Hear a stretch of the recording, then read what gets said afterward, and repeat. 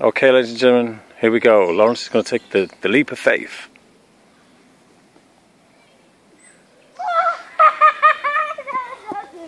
Go on, Tom, you ready? Oh.